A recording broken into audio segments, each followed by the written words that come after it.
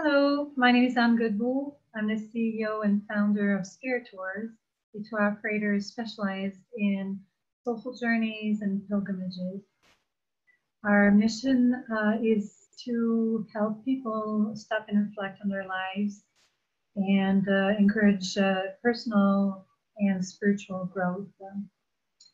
Um, so this uh, pilgrimage that, that we are offering you to the Holy Land is done in uh, collaboration with the Youth Ministry of Montreal. Uh, this is a, the third right, or the fourth time we offer this pilgrimage to the Holy Land uh, with them. And uh, we're happy to announce that uh, this pilgrimage will be accompanied by Archbishop Christian Lépine, uh, who's the Archbishop of the Diocese of Montreal and also a member of the uh, Youth Ministry team. Uh, so I will present to you uh, briefly the itinerary that you will be um, that you will uh, have the opportunity uh, to follow during this pilgrimage. Uh, and uh, well, I would like to also underline that a pilgrimage to the Holy Land is, is something I truly believe every Christian should experience once in a lifetime. Uh, for me, it was a life changing. Uh, I had the opportunity to go three times, and each time was very enriching and just absolutely wonderful.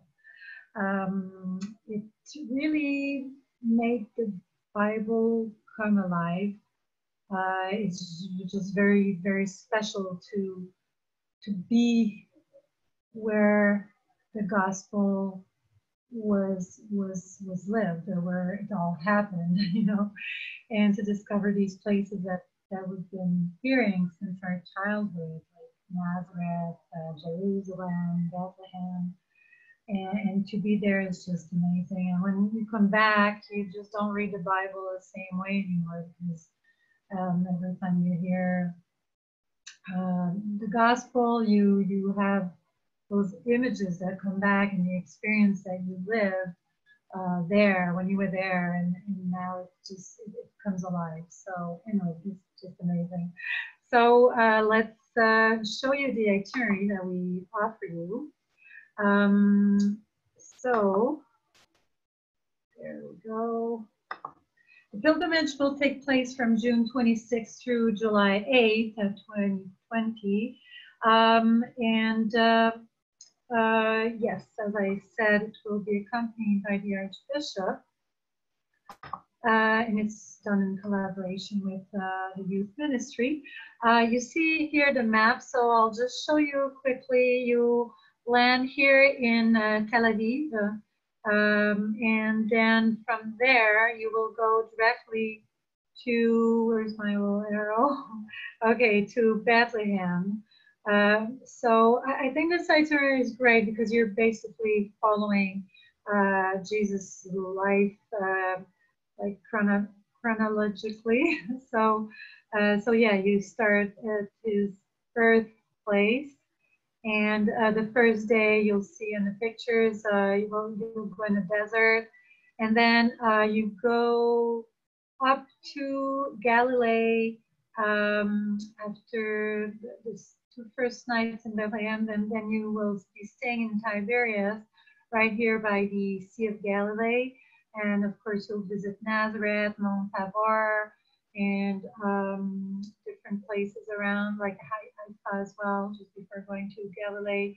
And then uh, you will be going down the Jordan, Jordan Valley, uh, stopping in Jericho, and then um, going to Jerusalem for the last um, uh, the last few days. Uh, uh, so the site of the passion, death, and the resurrection of Jesus Christ. So let's see now with some pictures uh, what you can experience uh, right from the first day. Uh, as I said, you go to Bethlehem, but you will have the uh, opportunity to ride on a camel in the desert. So uh, this is a desert where Jesus um, went uh, for 40 days. he retreated there and just before starting his ministry. So uh, it's uh, very special to start a pilgrimage in the desert.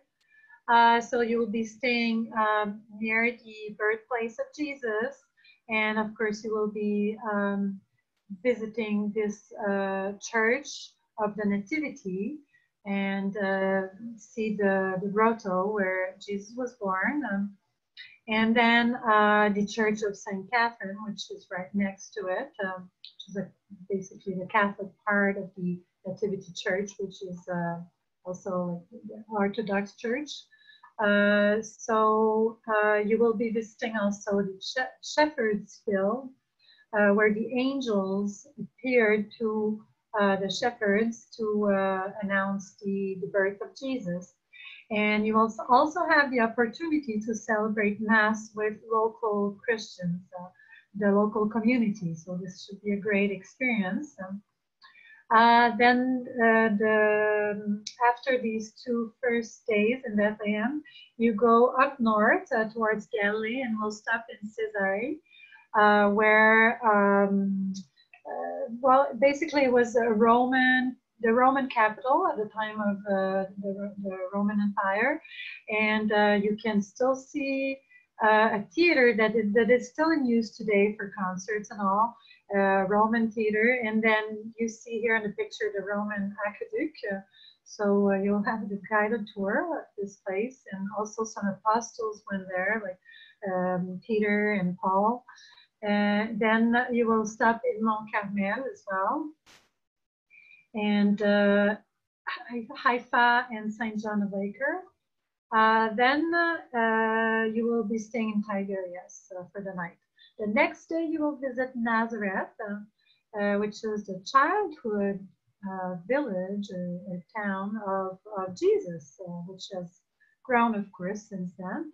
Uh, you see the basilica in the center of the, the village. Uh, this is the Basilica of the Annunciation in the, the crypt. the basement of the church is the grotto where the angel uh, Gabriel appeared to the Virgin Mary to, uh, to announce that she's going to give birth to, to a child. Well, of course, he asked her, her permission and she said yes.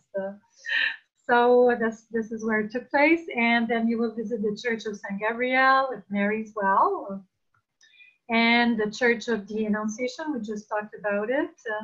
Uh, you'll be celebrating Mass there as well. Uh, and then on the way back to Tiberias, you will start stop in Cana of Galilee, uh, which is the site of Jesus' first miracle when he transformed water into wine at the uh, at the wedding.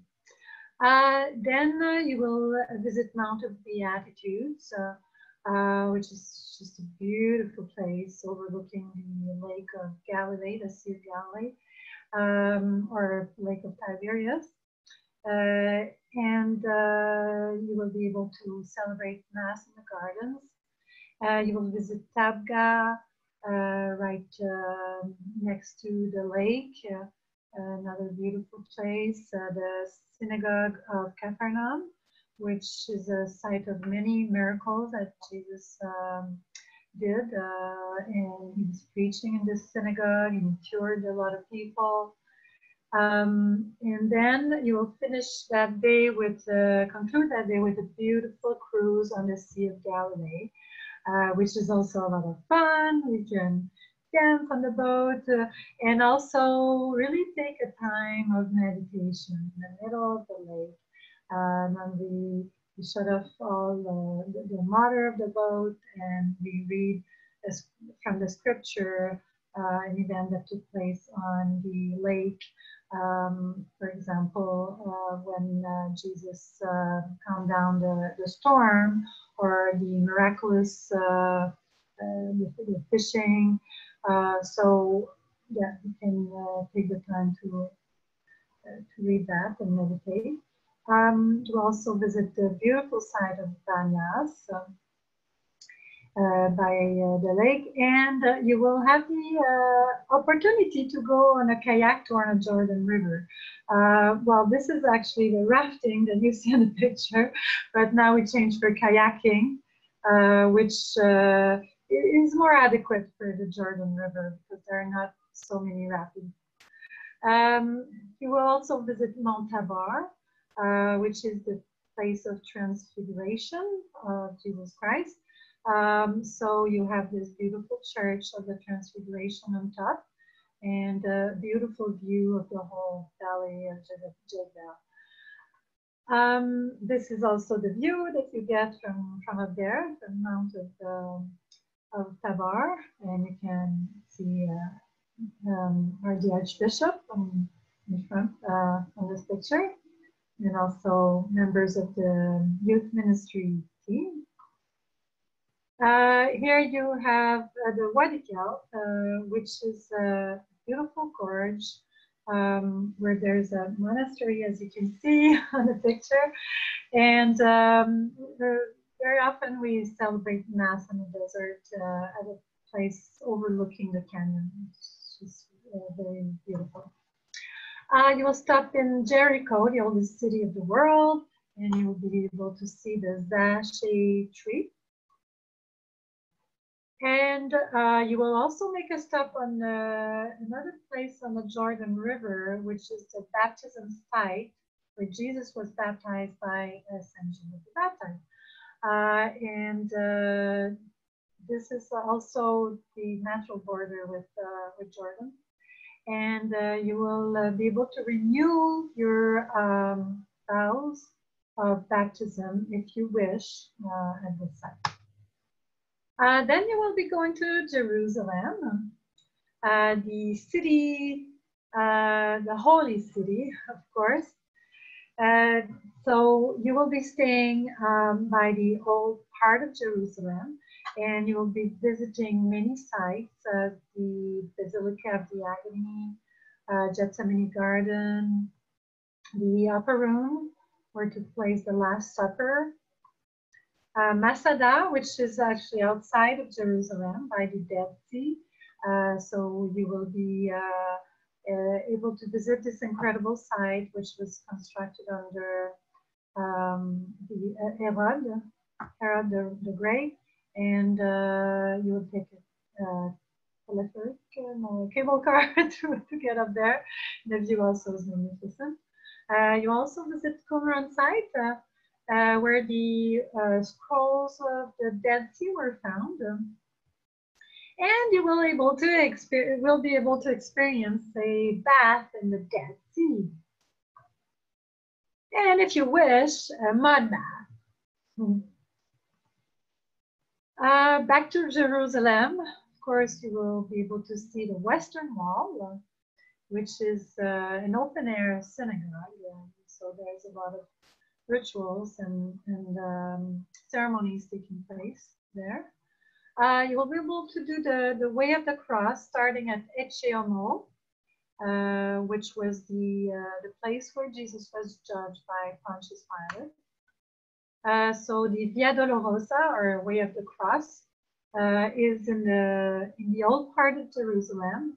And so you will be able to meditate on each, uh, at each station uh, some places are, uh, there's a little chapel. Um, and uh, then it ends at the Holy Sepulchre, of course, where the, the last stations are, and the tomb of Jesus, of course, the empty tomb, because he, he raised from the dead, uh, that you'll be able to, to pray there at the, the tomb. And yes, anastasis means uh, the resurrection. So there's actually a dome. You see the blue domes. There are two on this building, and there's one over the Calvary, and there's one over the tomb, the site of the resurrection. So we hope that you will participate in this wonderful pilgrimage uh, that is uh, made for young people. Uh, we invite uh, the youth uh, from 30 uh, 18, sorry, 18 to 35 years old. Uh, so this should be really a wonderful experience. We've heard a lot of beautiful testimonies from previous experiences. And you will fly back to uh, Montreal out of uh, Tel Aviv Ben Gurion's airport. So uh, we hope this uh, information was helpful And please don't hesitate to contact us uh, for more information about uh, this pilgrimage. Uh, so you can reach uh, youth, the youth ministry of the Diocese of Montreal, and, or Spiritours if you have any question at all. We'll be happy to answer you. Thank you.